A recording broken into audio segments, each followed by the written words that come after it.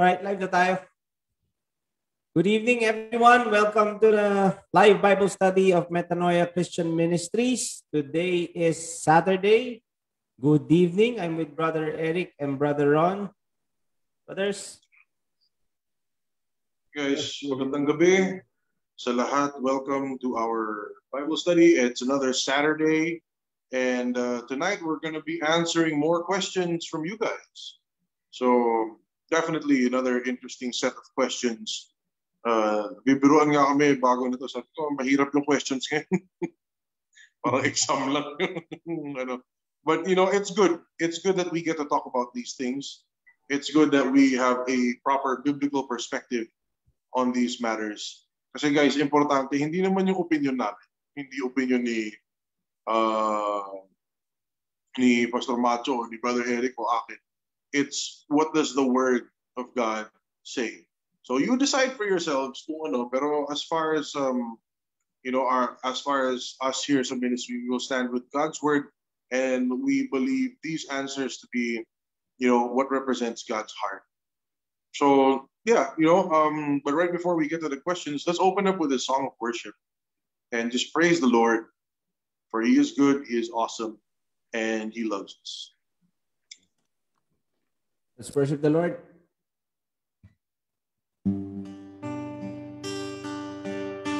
Thank you, Jesus. Sabay-sabay natin purihin ang ating Panginoon sa kanyang kabutihan.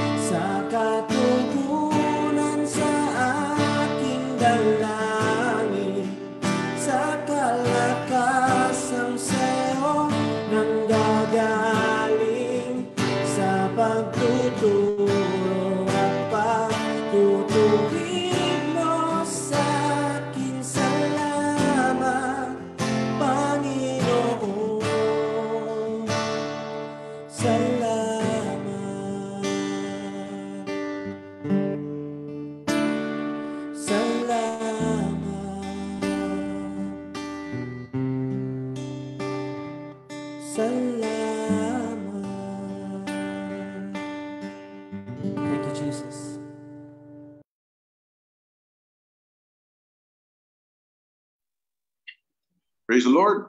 So magandang gabi, good evening. Again, dear brothers and sisters, welcome to our live Bible study. And uh, yeah, you know, we're excited to minister to you guys and share the word with you all.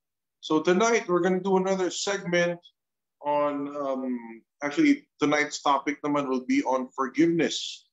And uh, nothing nothing specific, pero it's actually very broad yung mga questions. But I believe these are some questions that a lot of people uh, are afraid to ask or a lot of people assume na alam na nila pero parang walang malinaw na sagot. You know, so we we pray that the word of God will shed light on that tonight and that you guys would be, you know, uh, enlightened by whatever uh, sharing we have this evening. So yeah, you know, tonight it's going to be the questions and answers about forgiveness. Well, very big, very big topic here. Very big topic. And to be honest mga kapatid, medyo divisive din kasi talaga. Parang ano ba talaga forgiveness? Ano bang nangyayari pag ganito? Ano bang nangyayari? Pero anyway, you know, um, hindi ko natatagalan yung intro ko. I think we should just get right on it and just get, uh, go ahead and share and, and uh, take these questions one by one. So yeah, questions about forgiveness. And let's start off with our first question that says here, question number one, what is the correlation between Jesus dying on the cross and the forgiveness of my sins? How are these two things connected? Brother Eric, you want to take this first question? Uh, I think sobrang importante if you said you're a Christian that you you understand ano yung ano yung uh, ano yung Jesus dying on the cross and forgiveness? Ano yung connection ng dalawa? If Jesus didn't die on the cross our yung sin natin nandiyan pa rin. So Jesus dying on the cross is yan yung dapat tayo yun. Dapat tayo yung death. So Jesus did it for us para mabura yung penalty ng sin. Saka yung power ni sin. Kasi lahat tayo from Adam dapat pinanish na tayo ni God. Pero He choose not to punish lahat tayo. And talagang He made make a way na yung sin natin matanggal sa atin. Kasi pag tayo magtatanggal, we need to pay yun, which is debt nga. So, kung hindi ka namamatay, hindi ka pinarusa, ah, pinarusahan ni God doon sa sin mo, then ano pa rin, ah yun yung law ni God eh, na i-curse o may, may, may debt na kapalit doon sa sin na nagawa natin. Or because of Jesus dying on the sin, hindi na natin kailangan dumaan doon.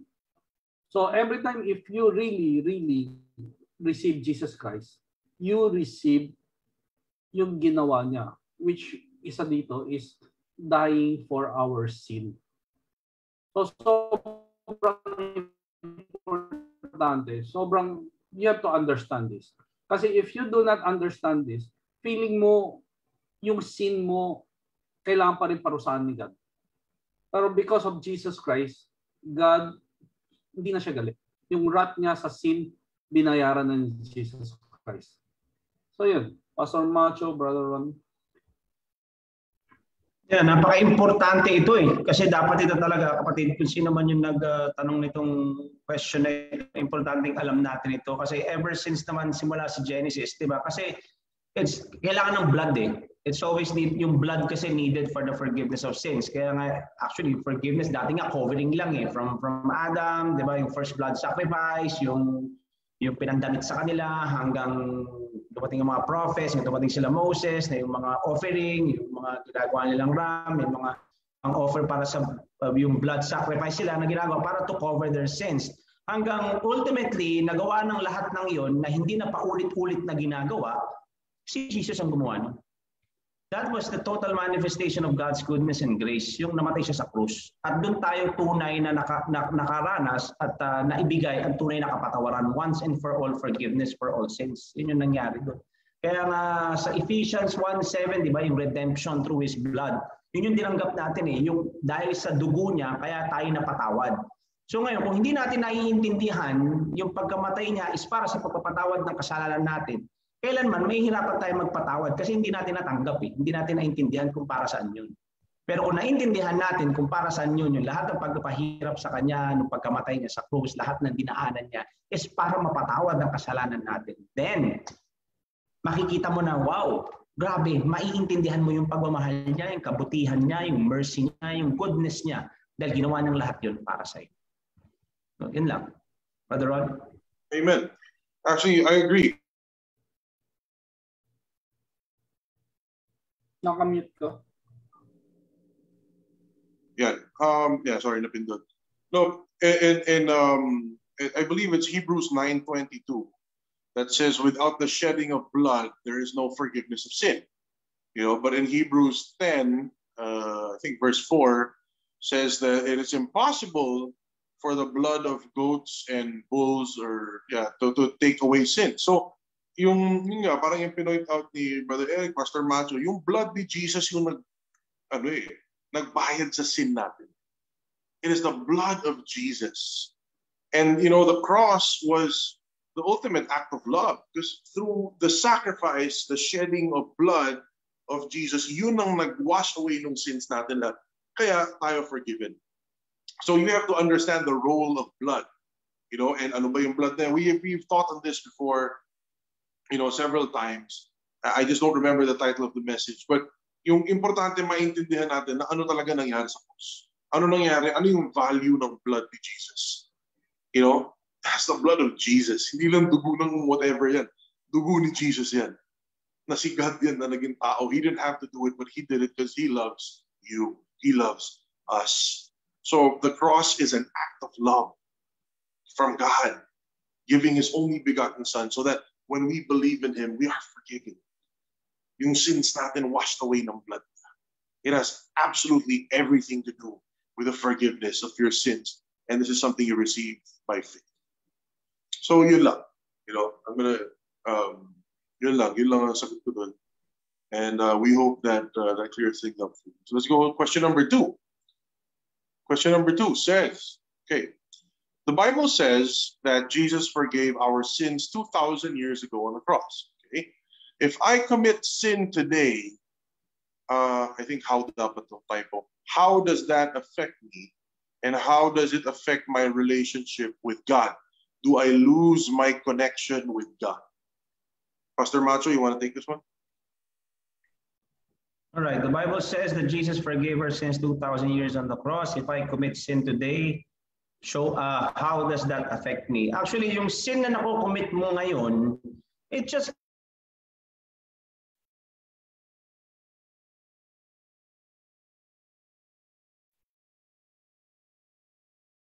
Naputol yata. So, so yeah, I'll answer na lang. Um, yeah, the Bible says that Jesus forgave us 2,000 years ago. On the cross, if I commit sin today, which, uh, how does it yung uh, affect? So, first of all, I think pinakamagandang maintindihan, it's about faith. Kasi if Jesus died 2,000 years ago, and and sabi ng Bible na because of that death, di ba, yung the whole payment is binayaran na. So, you need, we need to accept na yung blood ni Jesus, uh, ano na, sufficient na for our sin up to the future. Yung past, present, and future sin natin. So, you start with uh, yung salvation mo nga, when you receive Jesus Christ, Jesus died 2,000 years ago, ganyan rin yung forgiveness. Jesus paid once and for, for all. Hebrews 9, Hebrews 10 nakalagay yan. Once and for all, even verse dyan, he, uh, by the blood of Jesus Christ, talagang, talagang binuran niya yung sin natin. So, pero we we need faith to receive it.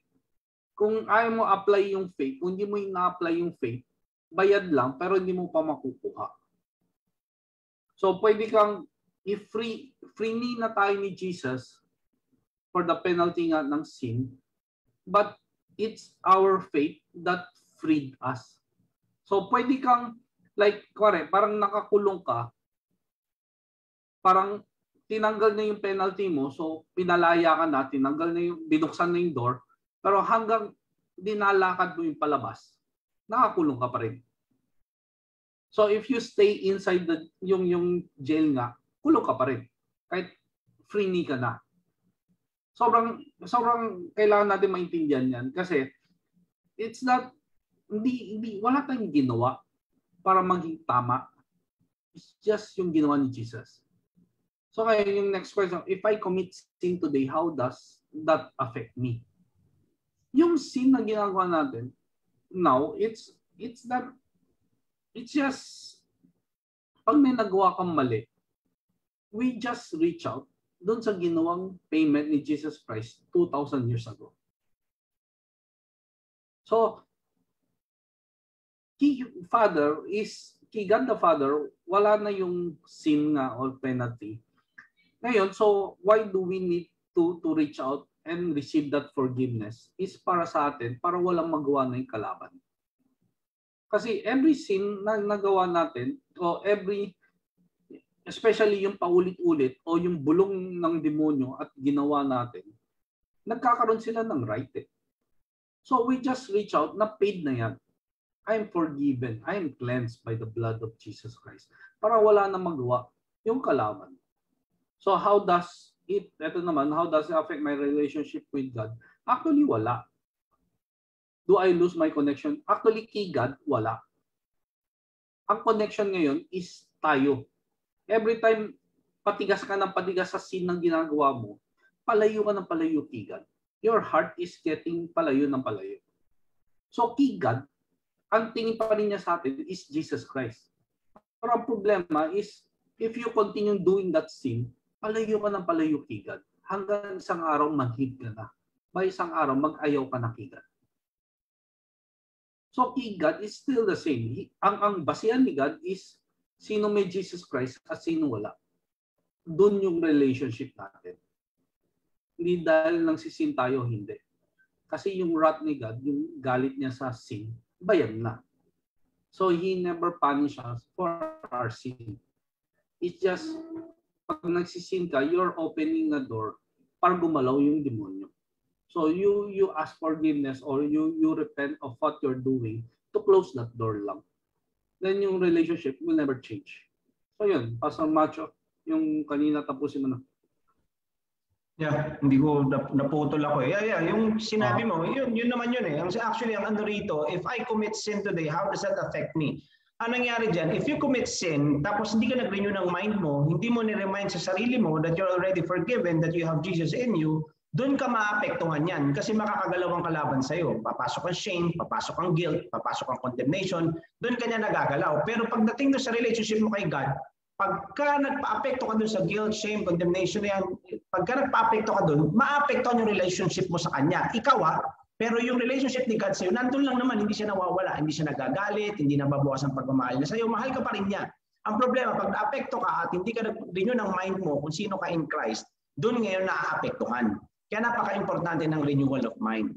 Hindi yung si, si God hindi nawawala sa iyo. Ikaw ngayon yung lumalayo kasi naka-harden yung heart mo, iniisip mo, you're not ano ka na, parang bitin ka na, parang hindi na pwede, uh, alanganin ka na, kasi yun ang ginagawa ng kalaban. So ang gagawin lang natin, renew our mind, ang Panginoon nandyan lang, mag, may, may magawa ka man na hindi maganda o may, may pagkakasala kang gawin, balik ka lang dahil bayad yun.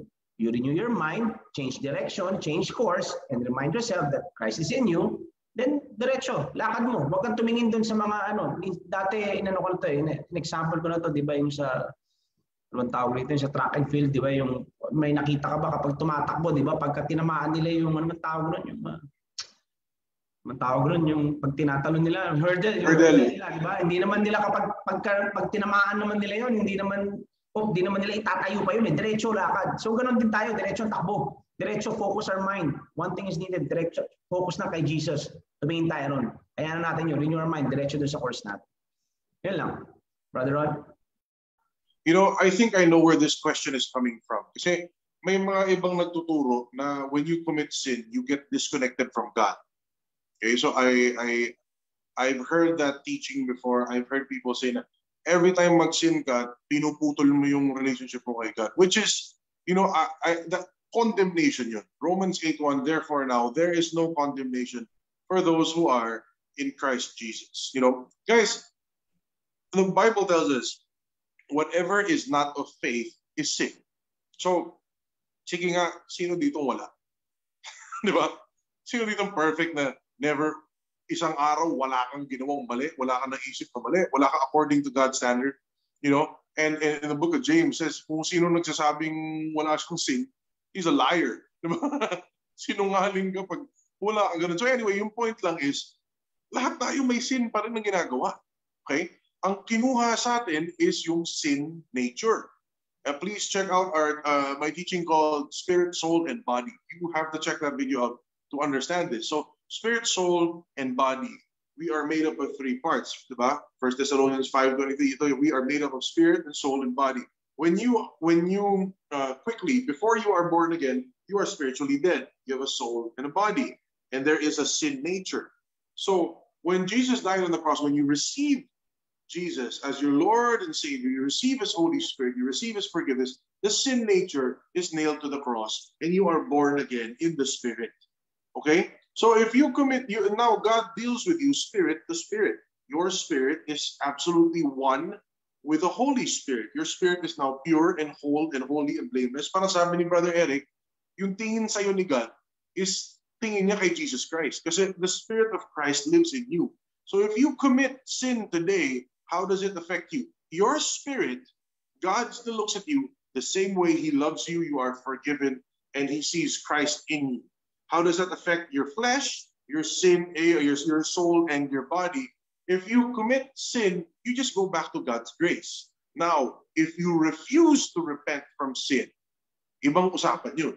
Hindi yung iba yung commit sin na nagkamali ako, iba yung willful na may sin akong ayaw bitawan may sin akong ayaw ko i-repent. Now, if you if you have that problem, na you have a sin that you don't want to let go or don't ano, or you have compromised and considered it then okay lang yan, tatanggapin ni God.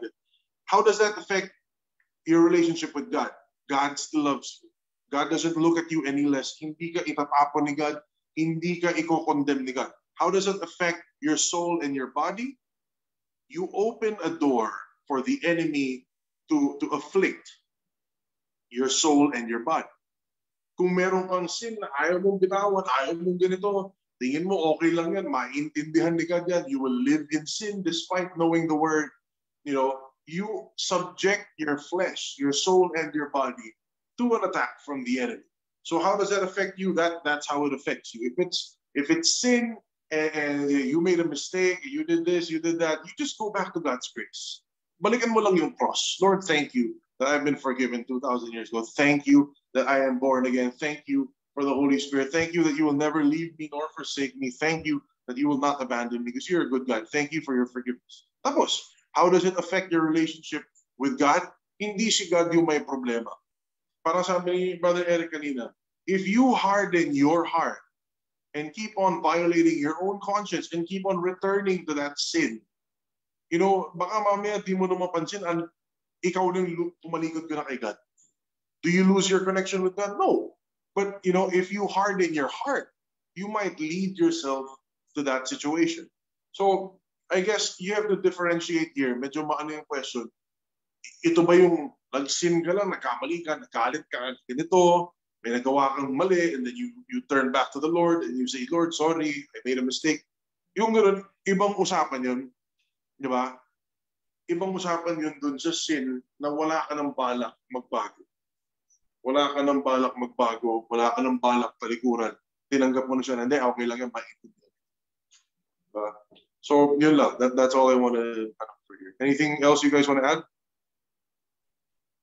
Okay. That's good. All right, let's move to the next question. Question number three. says some Christians believe in hyper grace teaching, okay? Where all of our past, present, and future sins have been forgiven, so it's okay to commit sin because God has dealt with it. Ah, okay. It, may konting totoo yung sinabi mo sa forgiveness, pero yung okay to commit sin, hindi, hindi yan yung grace na ano. Okay, how do you reconcile this with the Bible's call for repentance and holiness? You want to start with this, Brother Eric? Sige. Yung hyper grace teaching naman, it's more of na isa-isa natin. Some people believe in hyper grace teaching where all of our ano, past, present, future sin have been forgiven. Actually, tama yan. It's, it's, it's not hyper grace. It's grace. Jesus paid past, present, and future sins. That's all. Di ba? I, I, so, set muna natin na lahat ng kasalanan natin dati and present and future. So, it's sin. eh. It's ang ang sin na pinag-uusapan na binayaran Jesus is the noun. Noun na sin. So the noun na sin in Greek is ano eh, uh, missing the mark. So what do you mean by missing? Yung mark na sinet ni God, we all miss it. So yun yung sin. Kaya doon nakagalaw si Satan. So, hindi to hyper grace. It's more of dahil sa ginawa ni Jesus and the grace of our Lord Jesus Christ and God the Father, binigyan niya tayo na mawala yung missing the mark. So, it's Jesus doing it para hindi na tayo missing the mark. Kasi may hyper grace. Ang hyper grace kay Turo is wala ng faith. Lahat ginawa na ni God, okay ka na. Maniwala ka hindi, sa'yo yun. Actually, yes, sa'yo yun. Pero we need the, our faith to receive. So, kailangan balance yan ng grace and faith. Grace is anong ginawa ni Jesus. Faith is part natin. To receive, ano yung ginawa ni Jesus. Sa hyper grace kasi, medyo tinatanggal din nila yung faith. Basta ginawa ni Jesus, sa'yo na yun. In a sense, yes. Pero we need to receive it by faith. So yung forgiveness ng past, present, future sin mo is we need, like sabi nga ni Brother, tatlo kami nagsabi na yung ginawa ni Jesus, you need to receive that by faith. Nasa iyo na yun hanggang future. By faith mo re-receive it yun. Tapos yung next, so it's okay to commit sin. Siyempre hindi. If you know, if you really receive Jesus Christ, kasi alam mong hindi mo kaya o sinner ka, kaya mo si Jesus Christ para bayaran sin. So bakit re-receive, kung tunay mo re-receive si Jesus Christ para linisin kasalanan mo, bakit ka babalik sa kasalanan? So medyo may mali yung pagka-receive. So it's not okay to commit sin, di ba? Because God has dealt with it. Yeah, sa part ni God, hindi na tayo paparusahin dahil sa sin because may nagbayad.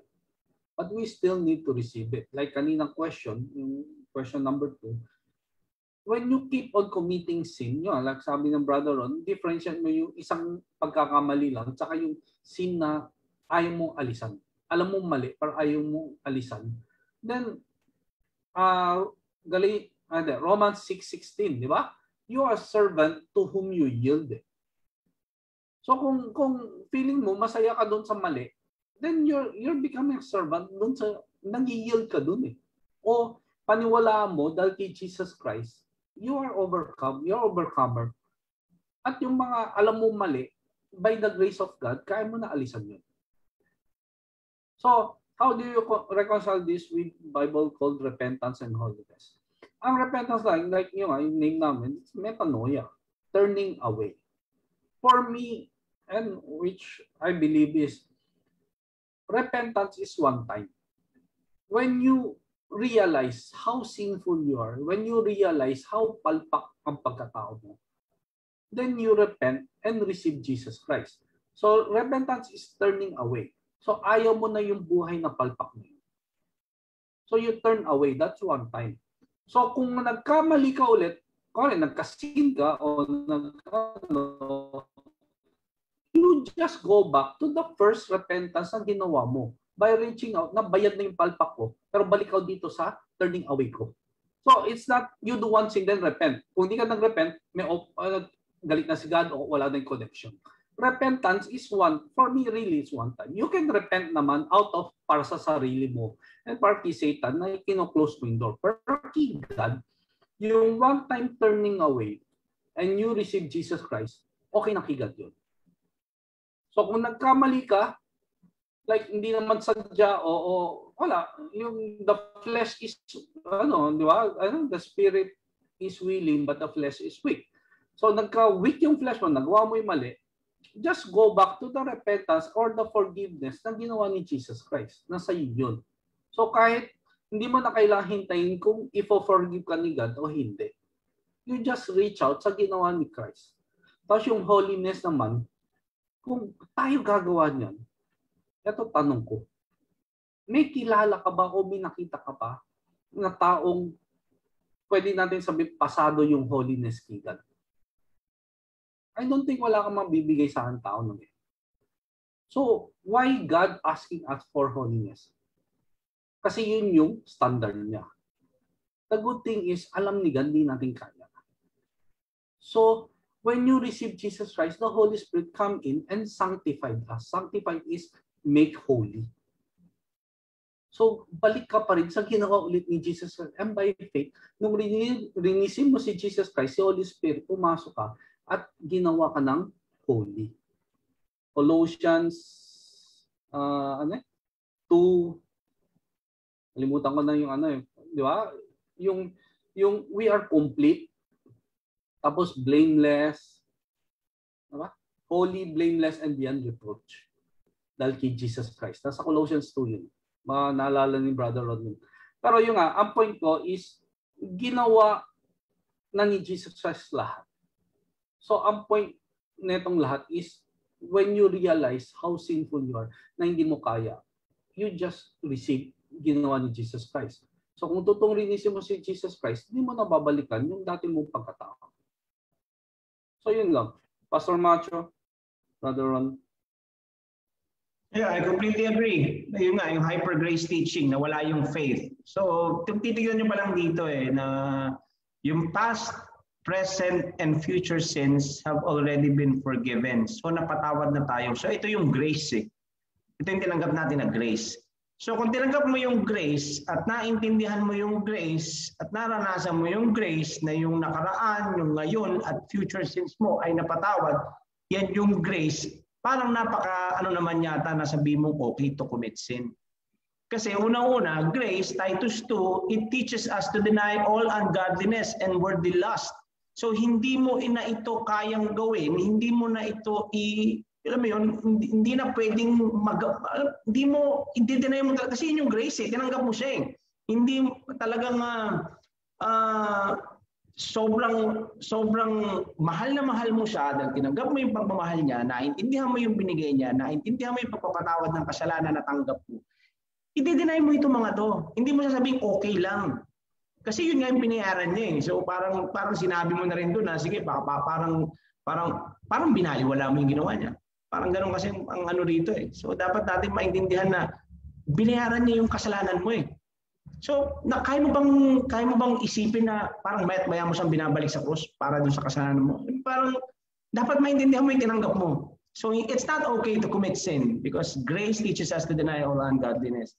And then yung how do you reconcile this with the Bible's call for repentance? Yun nga, yung repentance, one time kay God yun, yung ginagawa na natin repentance is change direction, balik ka dun sa binayaran niya. And yung holiness, it will come out kasi si Jesus naman yun eh. Hindi mo kayang gawin sa sarili mong kaparaanan at sa sarili mong kakayanan.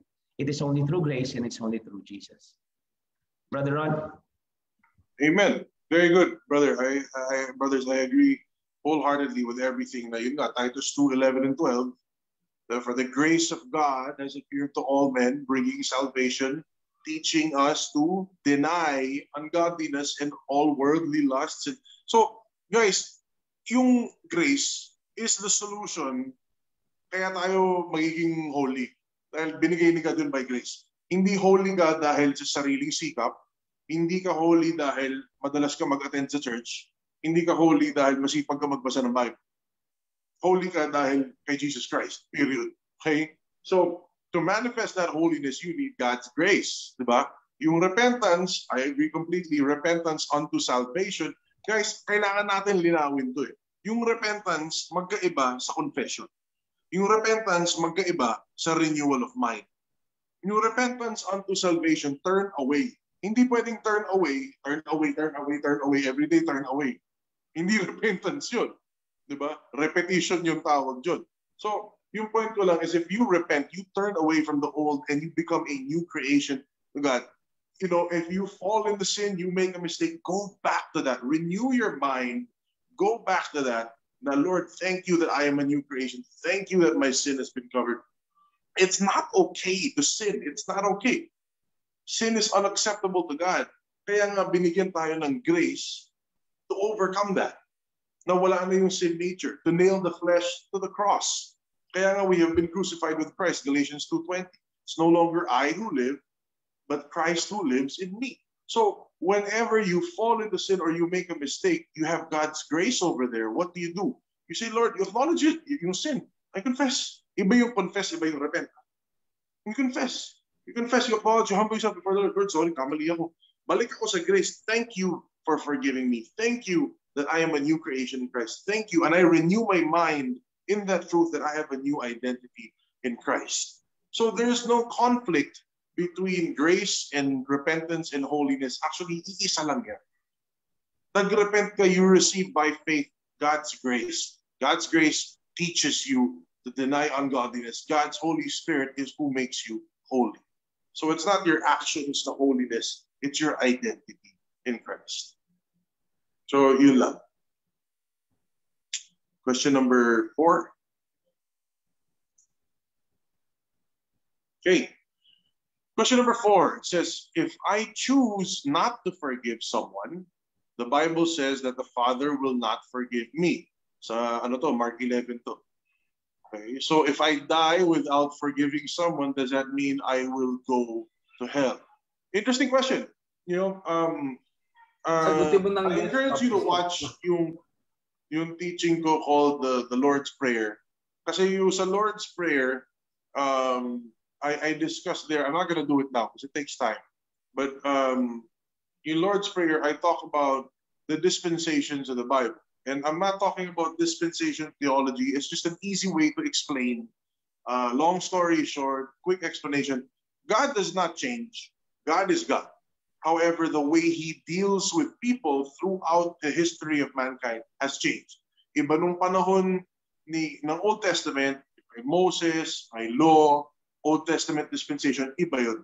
Iba rin yung dispensation nung nasa gospel.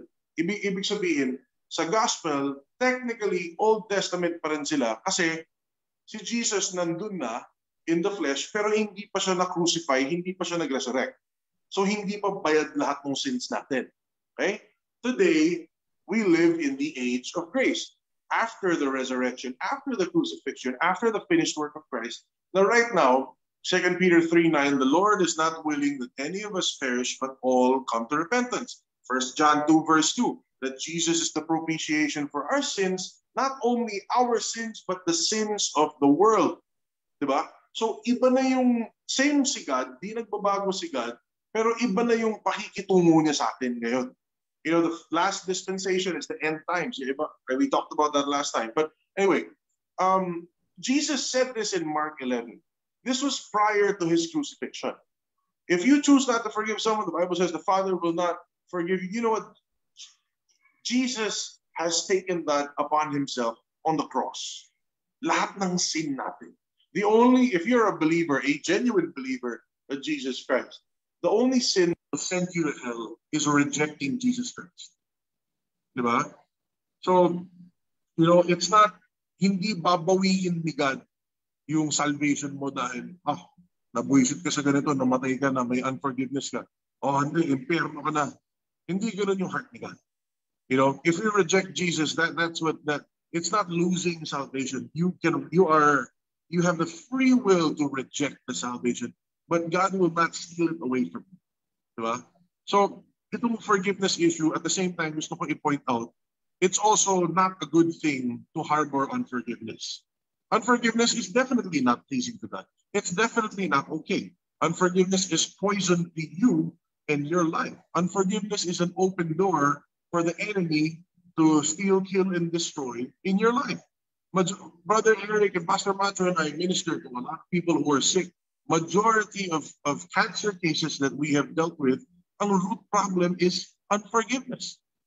You know, so it's not that God stops loving you. Again, I agree, Mark 11, they are the words of Jesus. I'm not questioning that. Pero, intindihin nga natin that this was the gospel dispensation. It's a different story today. You know, so I'm not endorsing unforgiveness. I mean, that's a horrible thing to harbor. Pero yung point ko lang is intindihan natin yung nangyari sa cross of Christ. Brother Eric? Ah, uh, yeah. Yun, if I yung if I choose not to forgive, like you know, hindi, sige, let's start with sabi nga ni Brother Ron na you have to distinguish yung ginawa ni Jesus Christ eh. Like, may turo rin, I, I think meron ako si Brother Ron, si Pastor Macho rin, yung rightly dividing the word of truth eh. Saan si Jesus eh? And even this forgiveness, saan si Jesus? If you think that we asking forgiveness, yun yung magtatanggal ng sin natin, that medyo tinatanggal mo yung ginawa ni Jesus Christ. So, like this, if I choose to forgive someone, I, I choose not pala. Sa akin, ito natutunan ko. If you understand how much na-receive mong forgiveness at yung ginawa ni Jesus Christ para sa sin mo, hindi mahirap mag-forgive ng tao. If you really value yung ginawa ni Jesus Christ. Kasi makikita mo, maliit lang yung yung ginawa ng tao, grabe yung ginawa ni Jesus Christ just to forgive us from all our sin. So, yung forgiveness, kung nahirapan ka, kung sino man ang kaso, nahirapan ka mag-forgive, huwag mo pilitin, alam mo gawin mo, intindihin mo how much binayad ni Jesus Christ para sa kasalanan natin. Then maging madali sa iyo to forgive. Di ba? Kung napipilitan ka, i-value mo muna yung forgiveness na na-receive mo in Jesus Christ. So the second, the Bible said that the Father will not forgive me. Ito yung sa ano Lord's Prayer, eh. if you forgive someone, di ba? So, like yung nga, yun, yun, kailangan maintindihan saan yung gawa ni Jesus Christ. Eh. Nung sinabi ni Jesus Christ yun, hindi pa siya nagbab hindi pa siya nagpapako, eh, hindi pa siya namamatay sa cross. So, andun pa rin yung sin natin. So if I did uh, without forgiveness does not mean I go to hell. Actually, yun nga, yung question na kung hindi mo kaya mag-forgive, hindi mo naintindihan ginawa ni Christ. Eh. Pag hindi mo naman naintindihan ginawa ni Christ, medyo, I'm not saying you're going to hell, pero baka hindi mo naintindihan bakit mo re-deceive si Jesus Christ. Like sabi nga ng Brother Ron, uh, we have been ministering sa mga may sakit, normally unforgiveness yung cause, especially cancer. And sama mo na rin lahat ng negative emotion, bitterness, anger, doon nagsisimula lahat ng sakit. Hindi naman lahat. Majority ng sakit galing doon sa mga negative emotion. So yun lang, if you really cannot forgive, go back, intindi mo ano yung binayaran ni Jesus Christ person. Ayun, Pastor Macho. Yeah, agree lahat ako dun sa sinabi niyo. Nga, uh, yung nagtanong kasi dito, eh, nga, if I choose not to forgive someone, you know, unforgiveness is a stronghold kasi. And it opens the door for the enemy para guluhin yung isip mo. At uh, stronghold yan sa'yo, sa buhay mo, kung kapag ka i-choose mong not to forgive. Kasi kung yan ang iniisip mong mas kaya mong i-choose na not to forgive, then balik ka nga sa cross. Katulad ng sinabi ni Brother Eric, you have to go back to the cross. Because the cross is the manifestation of God's love and goodness and forgiveness. Yun doon mo makikita yung sa cross. Kaya kailangan maintindihan mo yun. Kasi hindi na, pag naintindihan mo kung ano yung pinagbayaran niya sa cross, hindi, hindi na papasok sa isip mo yung not to forgive. Kasi ma- mahirap ang unforgiveness. It, it, it opens doors, uh, mabubuksan yung sa, kala, sa kaaway, negative emotion. Andiyan yan, hina-harbor mo eh. So nakakagalaw kaaway dyan. So if I die forgive uh, die without forgiving someone, ito nga yung Lord's Prayer sa Matthew 6 na sinasabi na if you if you don't forgive, your Father in heaven will not forgive you. Yeah, dispensation. Kailangan maintindihan natin that was before the cross. Ang that, ngayon kasi we live in the age of grace. So it's not about what you do. It's about what Jesus has done first. Yung ginawa muna ni Jesus. Yun ang titingnan natin kung ano yung ginawa niya. So kung ano yung ginawa niya, pag nakita mo, naintindihan mo, tinanggap mo yung ginawa niya, naunawaan mo ng gusto ano nangyari sa cross, then you will be able to forgive. Yung go to hell, uh, si Jesus, na tinanggap mo si Jesus eh, assuming you're a Christian, although di nakalagay dito, but sinasabi sa Bible, but assuming you're a Christian and you accepted Jesus, it's about Jesus has done first at hindi yung ginawa mo. Yung nga lang, habang nandito ka sa mundo, at you are harboring unforgiveness, it really opens a door for the enemy. Yun lang. Amen. Next question. Question number five says, ayan, aha, ano to, is it true that if I do not forgive someone, a demon will possess me? Pastor Macho, baka pwede mo unahan to. Ikaw na, Brother Eric.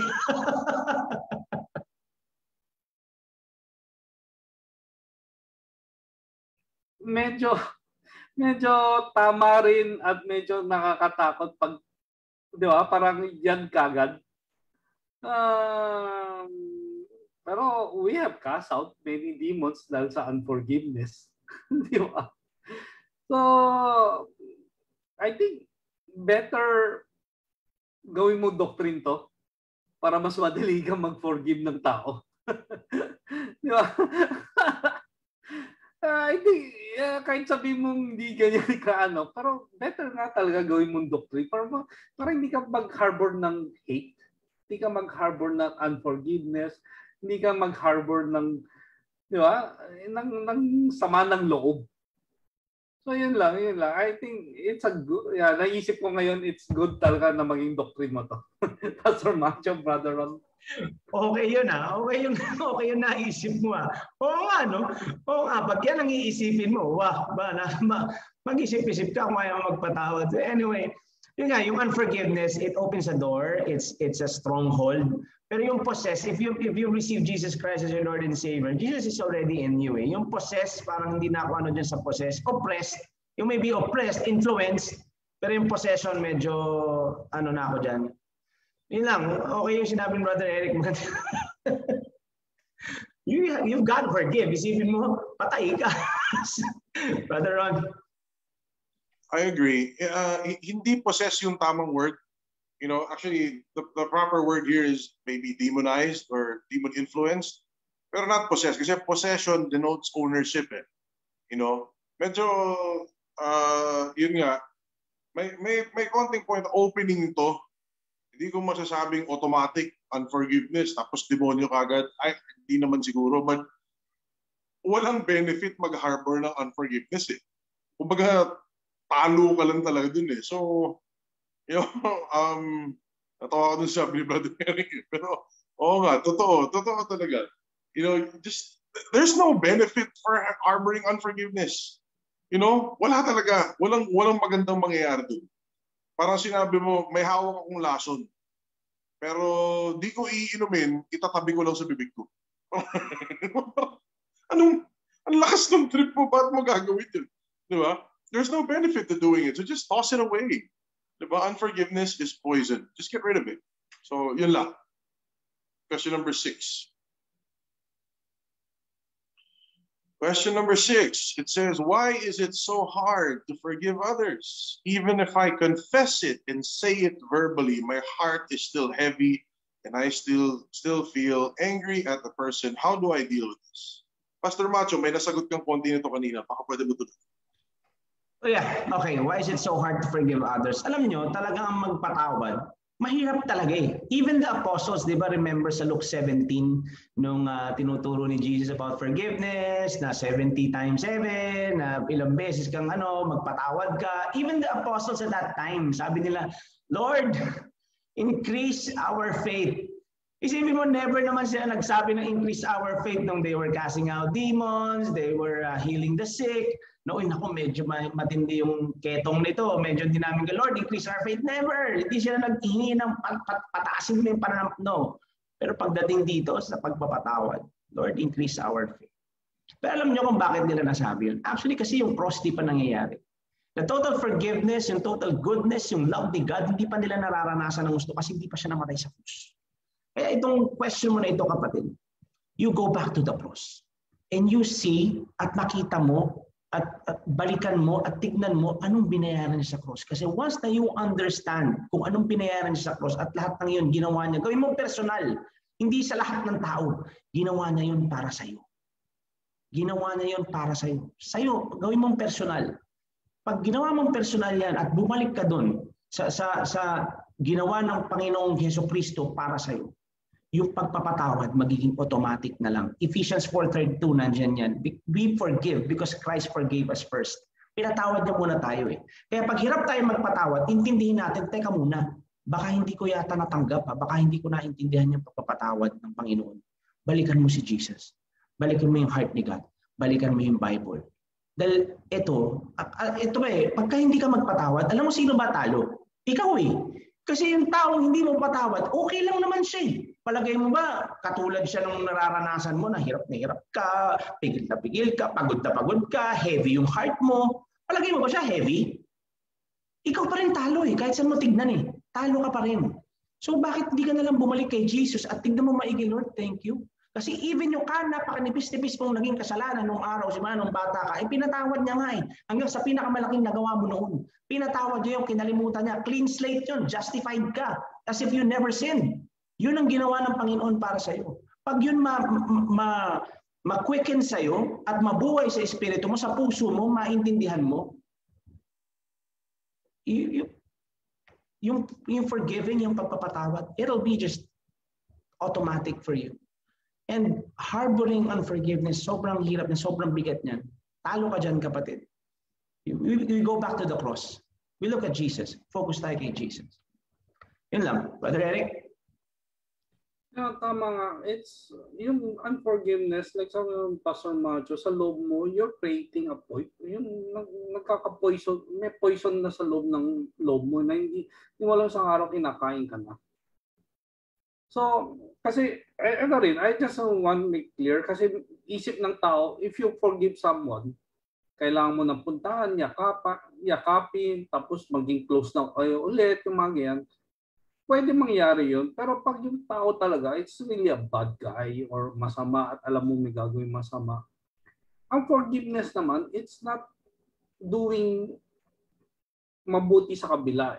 It's more of you releasing yung hate, yung galit, yung yung na-cause na negative emotion sa iyo. So when you forgive, you're releasing yourself from all the poison na na yung nga nagko-cause ng e, negative emotion. So sobrang importante kung hirap ka pa rin. Like sabi yung Pastor Macho, which yun nga, sasabi nga namin, go back to the cross. Go back how much Jesus paid for our sin uh, yung heavy and feel angry, yun nga, yun yung tinatanggal mo when you forgive. And it's na, tinatanggal mo yung man negative emotion. So, like sabi ng Pastor Macho, yung yung nag-ask sila ng, di ba, increase our faith, yun yung yun yung unang sabi ni Jesus na you should forgive it. So, doon sila nagtanong. So, forgiveness is applying your faith. By yung with, di ba, with your mouth uh, you confess, with your heart you believe.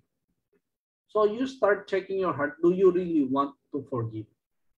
Kung talagang gusto mo, then by faith, apply mo at release mo yung galit or unforgive, yung forgiveness na yun doon sa tao. O isang group ng tao, ano man, sino man nagkaano sa iyo. Diba? So yun lang. Brother Ron? Amen. Actually, I, I have nothing really to add to that. Kompleto na yung sagot niyo. And I agree completely with what you said, bro. Forgiveness is applying your faith. You know, nahihirapan ka, balik ka lang kay Jesus. In intindihin mo kung anong meron natanggap. Diba? Intindihin mo rin kung ano yung na-forgive sa'yo. Anong ginawa ni Christ para sa'yo. And who are we to withhold that from others? Diba? So yun lang. Diba? Let's go. Question number seven. Last question for this evening says, How does unforgiveness hinder God's blessings from manifesting in my life. So yung unahan ko na to. You know, I, I touched on this a while ago about spirit, soul, and body. And, you know, yung unforgiveness really leaves an open door. You know, yung blessings ni God, nandyan na eh. Binigay na eh. Diba? Ephesians 1.3, He has blessed us with every spiritual blessing in the heavenly places in Christ Jesus. Diba? The problem is unforgiveness. Unforgiveness is still sin. You know, unforgiveness is still sin. And if you willingly or willfully engage in it, willfully violate your heart and your conscience in it, you leave a door open for the enemy sa buhay mo. You leave, you create a wall. Para sabi ni Pastor Macho, yung unforgiveness, stronghold yan. So a stronghold will keep you prisoner. A stronghold, it's not, it's not, guys, I don't, I don't want you to view God as transactional na, ha, may unforgiveness to. Ayaw niyang patawarin. Hindi na kita i-bless. That's not true. Because God already blessed us through Jesus Christ. God already said yes and amen to all his promises through Jesus Christ. 2 Corinthians 1 verse 20. So, hindi sa hindi sa i-withhold ni God. It's not God withholding his blessing. It's more on ikaw yung nag-create ng bara o ikaw nag-create ng wall. Isa, isipin mo faucet. Di ba? Gripo. Andiyan naman yung tubig eh. Lalabas at lalabas yan. Yung unforgiveness, para mong sinaksakan ng, ano yun, ng pambara sa loob. Tapos sabi, ba't walang tubig? Eh, binaram mo eh. So, hindi kasalanan yun nung nagbibigay ng tubig. Hindi kasalanan yun ng, pro- ng service provider. Kasalanan mo na ikaw nagbara. You know? So, hindi ka na nag-exercise ng faith doon. You created your own uh, obstacle to receive God's blessings. So, yun lang. Brother Eric? Yeah. And, and unforgiveness, normally kasi, eh, hindi naman normally, it's, yun yung, pag unforgiveness, it's part of the flesh. Flesh mo yun eh. Kasi yung fruit of the spirit, walang unforgiveness eh. So if you cannot forgive, then maybe you're not mine dun sa spirit mo. So, kung mahirap like kanina nga, yung mahirap mag-forgive, it's, you're walking in flesh. So, ang point dito, ang point ko is, balik ka sa spirit mo kasi andun yung blessing. Kasi like, you know, Ephesians 1.3, we are blessed with all spiritual blessing in the in the heavenlies. So, so ang point ko, eh, naputol yung tayo. Uh, so, ang point ko is, let's go back dun sa dalaw. So, let's go back nga dun sa so, yun. Nawala yung ano, parang limal. So, ang point ko is, you have to evaluate if you're walking the flesh or walking the spirit uh, Romans 8.6 nga, you set your mind on the Spirit para matutunan mo paano mag-forgive. Di ba? So yun lang. I, I just want makita nyo na nahihirapan mag-forgive kasi nasa flesh ka. But you understand and renew your mind, sino ka sa Spirit, dun, madali mag-forgive. Kasi doon papasok si love, joy, peace, patience, kindness, goodness, and lahat na yun. So yun, eh, yun lang. Pastor Macho. Yeah. Yeah, parehas, parehas lang mga sinabi niyo. Actually, ang kailangan niyo lang hindi kailangan mo lang intindihin dito kung sino man yung nagtanong nito na hindi si God yung nagwi-withhold ng blessings kasi binigay niya na yun eh. Kung meron man nag, kung meron mang nakaharang diyan at nagbibigay ng harang diyan, is yung unforgiveness na nilagay mo diyan sa puso mo. Kasi hindi naman yan naaabot diyan kung hindi mo pinayagan. So, it's up to you na siguro it's about time that you tanggalin mo yung unforgiveness na yan kasi harang talaga yan. Magiging harang yan at nagagamit ng kawayan. Katulad ng sinabi ko kanina, unforgiveness is a stronghold. It is a stronghold of the enemy in your life. Out niya yan. So ibig sabihin, pag stronghold, andyan siya, naka, naka stronghold. Stronghold nga eh. Di ba? Yung parang ituro ko dito na isang fortress na nandun siya, kumukuya-kuya ko yung kumukuya-kuya ko yung kalaban doon, tuwan-tuwa dahil sa unforgiveness mo. Kaya nabablock, kaya nahaharangan yung blessings na pumasok sa buhay. Hindi lang, hindi lang siya nakakaharang sa blessings. Nagiging open door din siya dun sa mga problema ang papasok. So let's let's ano, let's get rid of unforgiveness. Yun lang. Amen. So, guys, you know, I think very straightforward naman itong ano natin. And these are a lot of questions na, you know, I know a lot of people deal with. At the end of the day, balikan lang natin grace ni God. Balikan natin love ni God. Balikan natin identity in Christ. Balikan natin finished work of the cross. Unforgiveness will not be a challenge. Forgiving others will not be uh, a struggle if you understand how much God loves you and how much you have been forgiven. So, yeah, yun. That concludes our evening uh, for question and answer. And, you know, guys, if you have more questions, just send it our way, private message or through uh, here, you know, and uh, we'll, we'll, we'll deal with that later on. So as we close, can I ask you, Pastor Macho, can you close us in prayer tonight? All right, let's get, let's pray. Heavenly Father, Lord, we thank you so much, Panginoon, sa gabing ito, Lord God, na patuloy na naman nag-umapaw kami sa inyong salita, Lord. Lord, we thank you.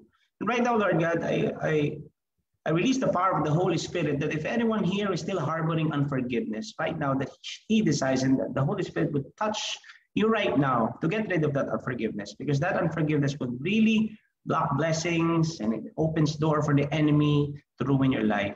So right now, in the name of Jesus Christ, I speak blessing upon each and every one of us, each and every one of the people that is listening at the other side of this camera. Uh, magkaroon sila ng revelation of, of, of Jesus love, ang pagmamahal ng Panginoon, na maunawaan ninyo kung gaano tayong pinatawad ng Panginoon at ang lahat ng dinaanan niya sa krus ay para sa atin. Gawin natin personal ito. Pagkat ito'y totoo, at ginawa niyang ito lahat para sa atin at walang pumilit sa Kanya. Ginawa niya ito para sa atin. Let's go back to His love. And the peace of God that transcends all understanding will guard our hearts. Thank you, Jesus. In your name we pray. Amen and amen. Amen. See All you right. guys on Monday. Monday. Bye, guys. God bless. See you on Monday.